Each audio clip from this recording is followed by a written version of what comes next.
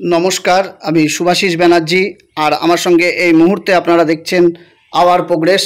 আজকে আমরা যে বিষয়টি আলোচনা করব সেটি হলো অগ্রক্রয় মামলা বা আপনার যে পাশের যে জমি রয়েছে বা আপনার দাগের, একই দাগের জমি রয়েছে, সেই জমি যদি বিক্রিও হয়ে যায়, তাহলে সেই জমি কেনার অধিকার আপনার রয়েছে কিনা কিংবা আইনে এর কোনো সংস্থান রয়েছে কিনা এই বিষয়টা নিয়ে অনেকেই সন্দিহান।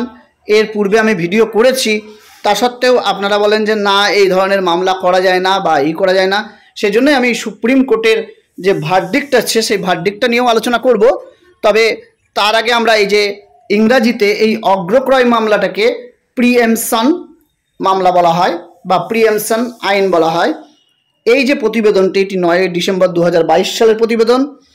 দেখুন, আমরা একটু আলোচনা করে নিই। যখন এই যে প্রাক খালি বা প্রি বা প্রিয়ামসন এই কথাটার অর্থ কী? প্রি মানে আগে। আর এমসান বা এমটাম, এই কথাটার অর্থ হলো ক্রয় করা। তাহলে আগে কেনার অধিকার কার? এইটাই হলো প্রিএমসান এবার আমরা যদি এর সাংবিধানিক অধিকার দেখি বা এই প্রিয়ামসান কি?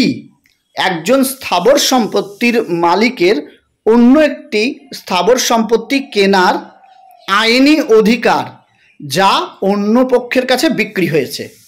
তখনই কিন্তু প্রিয়ামশন মামলাটা করা যায় বা অগ্রক্রয়ের মামলাটা করা যায়। তাহলে নিশ্চয়ই বুঝতে পারলেন যে কারোর একই দাগের সম্পত্তি হতে পারে বা পার্শ্ববর্তী সম্পত্তি হতে পারে। সেটা যখন বিক্রি হয়ে গেছে, তখন আপনি দাবি করছেন যে আপনার কেনার আগে অধিকার ছিল। তখনই অগ্রক্রয় মামলাটা আসে।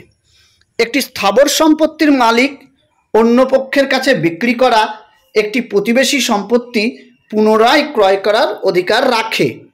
একে বলা হয় প্রিয়ামসান আপনারা অনেকে জানেন, হয়তো অনেকে জানেন না। এরকমও হতে পারে। এই জন্যে আমরা কি করি? আমাদের যদি কোনো ওয়ারিস দেখা গেল সম্পত্তি বিক্রি করল তখন কিন্তু আমরা সেই জায়গায় আর সম্পত্তিটা কিনতে পারি না বা আমরা এই ব্যাপারটা জানি না। তখন আমরা এই মামলাটা করতে পারি না। তখন আমরা বলি যে, আমার তো অধিকার ছিল কিন্তু আমি কিনতে পারলাম না। আমরা এই যে এ এবং বি যে মালিকানাধীন বিষয়টা আমরা এইভাবেও জানতে পারি। তবে আমরা হিন্দু আইনের ক্ষেত্রেও এই প্রিয়ামশন ব্যাপারটা রয়েছে, মুসলিম আইনের ক্ষেত্রেও প্রিয়ামশন ব্যাপারটা রয়েছে। অর্থাৎ অগ্রক্রয় অধিকারের ব্যাপারটা আছে। দুটো আইনেই আছে। আপনারা জানেন, মুসলমান বা মুসলিম যারা রয়েছে, তাদের যে আইন, সেই আইনে পার্সোনাল ল বোর্ডের আইন রয়েছে। সেখানেও কিন্তু প্রিয়েনশন মামলাটার বা প্রিয়েনশন বা অগ্রক্রয়ের মামলার কথা বলা হয়েছে। আর হিন্দুদের যে আইন রয়েছে, সেখানেও কিন্তু এগুলো রয়েছে। এবার আমরা আসি, দেখুন, বিজয়লক্ষ্মী বনাম হিমন্ত রাজ চেট্টি, উনিশশো ছিয়ানব্বই সাল, নাইন এসসিসি তিনশো ছিয়াত্তর। তাহলে মামলাটা নিশ্চয়ই আপনারা এখানে দেখলেন। এর ক্ষেত্রে মুল্লা প্রিএমসন শব্দটিকে সংজ্ঞায়িত করেছেন। রিয়েল স্টেটের এক টুকরো মালিক অন্য কারও কাছে বিক্রি করা আরেকটি অংশ কিনে সুফা বা প্রথম প্রত্যাখ্যানের অধিকার লাভ করতে পারেন। এটা একটা ব্যাপার। প্রিয়েমশন হলো একটি আইনি নীতি যার মূল রয়েছে ইসলামী আইনে মুঘল ক্ষমতার আবির্ভাবের আগে ভারতের অজানা ছিল সেখানে, কিন্তু মুসলিম এবং হিন্দু উভয়েই এই সাধারণ ভূমি আইনের অধীন। তাহলে এইটার যদি আমরা বেস দেখি বা ভিত্তি দেখি এই প্রিয়েমশন বা অগ্রক্রয় মামলা, তাহলে আমাদেরকে মোগল যুগে চলে যেতে হবে বা মুসলিম যে আইন রয়েছে সেখানে চলে যেতে হবে। এর ভিত্তি কিন্তু এই আইনটার অধীনে মুসলিম এবং হিন্দু উভয়েই পড়ে। ব্রিটিশরা মুসলমানদের প্রতি নৈতিকতা, ন্যায় বিচার ন্যায়পরায়ণতার জন্য এটি ব্যবহার করেছিল এই আইনটা। এই আইন কিন্তু অনেক কিছু রয়েছে। আবার আমরা যদি এই আইনের আরেকটা দিক আলোচনা করি, গোবিন্দ দয়াল বনাম ইনায়াতুল্লাহ আঠেরোশো পঁচাশির মামলা বিচারপতি সঈদ মাহমদ বলেছেন যে প্রিয়ামসানকে একটি অস্থাবর সম্পত্তির মালিকদের দেওয়া অধিকার হিসেবে উল্লেখ করা হয়, যা ক্রেতার বিনিময়ে অস্থাবর সম্পত্তির মানে যে প্রাপ্তি সেই জন্য। এবার আমরা আর একটা বিষয় দেখব যে প্রিয়নসন মামলা বা অগ্রক্রয়ের যে ব্যাপারটা, এর কিন্তু সাংবিধানিক বৈধতা আছে। আমরা যদি বলি যে না, সংবিধানে নাই এই অধিকার, যে একই দাগের সম্পত্তি আর কে বিক্রি করে দেওয়া হলো তারপর আর একটা শরিক দাবি করতে পারবে না, সেটা বলি, সেটা ভুল, কারণ দাবি করতে পারবে, তার অধিকার রয়েছে, এটা সংবিধানে দেওয়া আছে। উনিশের এক, এফ এবং একত্রিশ অনুচ্ছেদ দ্বারা সুরক্ষিত সম্পিতা, সম্পত্তির অধিকার ও নিষ্পত্তির মৌলিক অধিকার লঙ্ঘন করেছিল। উপরে উল্লেখিত সংশোধনীর উভয়েই অনুচ্ছেদ ভারতীয় সংবিধানের তৃতীয় অংশ থেকে পরে সরানো হয়েছে এবং সাংবিধানিক অধিকার হিসাবে তিনশো এ অনুচ্ছেদ দ্বারা আচ্ছাদিত করা হয়েছে। যাই হোক তারপরে আরও যদি আমরা কিছু বলি ভাওরাম বনাম বাজিনাথ এআই আর উনিশশো বাষট্টি, এসসি চোদ্দোশো ছিয়াত্তর অনুসারে সুপ্রিম কোর্টেও এই প্রাক অবস্থান সাংবিধানিক কিনা তার সিদ্ধান্ত নেওয়ার অনুমতি দেওয়া হয়েছিল। সুপ্রিম কোর্ট কিন্তু এই প্রাক খালিকরণকে প্রথমে অবৈধ ঘোষণা করেছিল, পরে সুপ্রিম কোর্ট যে রায় দেয়, সেটাই কিন্তু একটা অন্যতম মামলায় বেআইনি বলা হয়। তারপরে দেখুন আমরা চুয়াল্লিশতম যে সংবিধান সংশোধনী হয়েছিল, সেই পূর্ববর্তী আইনগুলির প্রয়োগের কার্যকর পর্যবেক্ষণের কারণে যে সুপ্রিম কোর্ট যখন পর্যবেক্ষণ দিল, এটা বেআইনি বা এটা ভুল, তারপরেই কিন্তু এগুলো এলো। উনিশশো আটাত্তর সালের পরে সাংবিধানিক কথা নিয়ে সমগ্র বিতর্ক পরিবর্তিত হয়। সম্পত্তির মালিকানাকে একটা সাংবিধানিক অধিকারে পরিণত করা হয়। তখন বলা হয় যে, যেহেতু আগে ছিল আইনগত অধিকার এবং পরবর্তীতে সাংবিধানিক অধিকার হয় সম্পত্তির অধিকারটা। তখন কিন্তু এটা দাঁড়িয়ে যায়।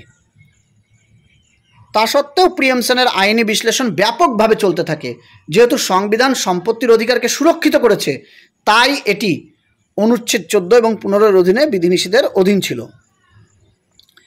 এল এরাস রঘুনাথ, তারপরে ডি বনাম রাধা মোহন এআই আর দু হাজার কুড়ি এসসি পঞ্চাশ, ছাব্বিশ প্রিয়েমসনের অধিকার শুধুমাত্র প্রথমবার ব্যবহার করা যেতে পারে যখন প্রয়োজন দেখা যায়।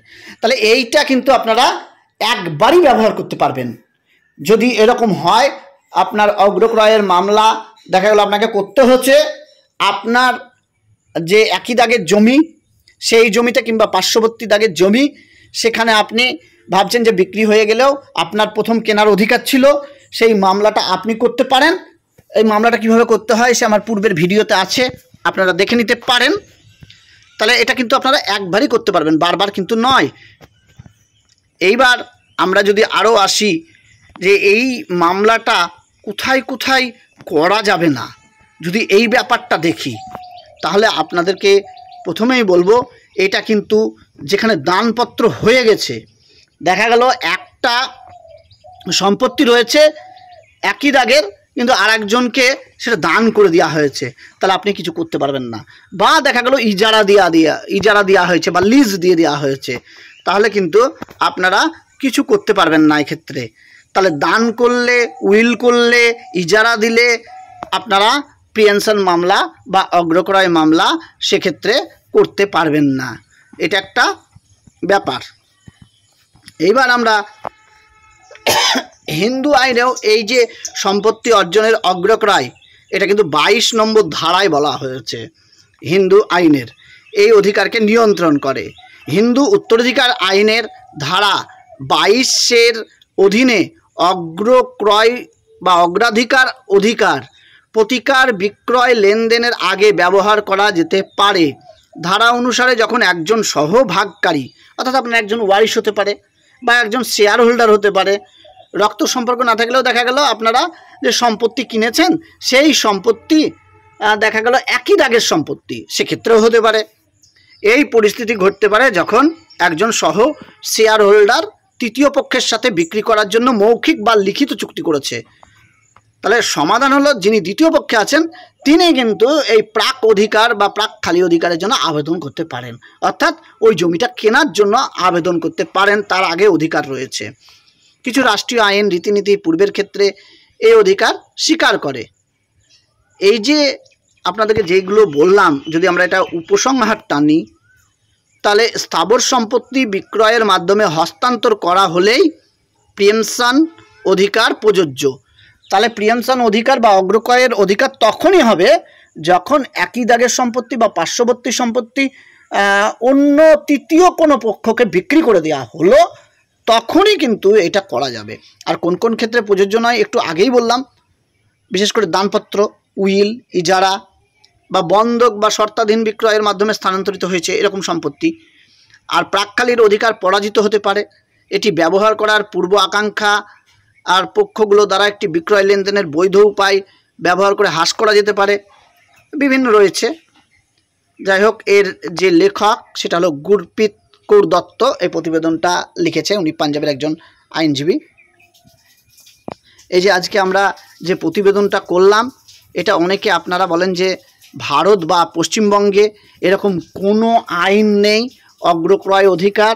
তাদেরকে এটা জানানোর জন্য এর মূল ভিত্তি ইসলাম এর হতে পারে, অর্থাৎ মুসলমানদের বা মুঘল সাম্রাজ্যের সময় হতে পারে।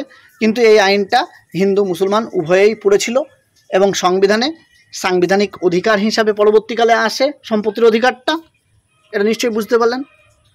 যাই হোক, আজকে এটুকুই আলোচনা করলাম। ধন্যবাদ ভিডিওটি দেখার জন্য। আবার পরবর্তী সময়ে অগ্রক্রয় মামলাটা কীভাবে করতে হয়, তার একটা পুরো ভিডিও নিয়ে আসব। ধন্যবাদ।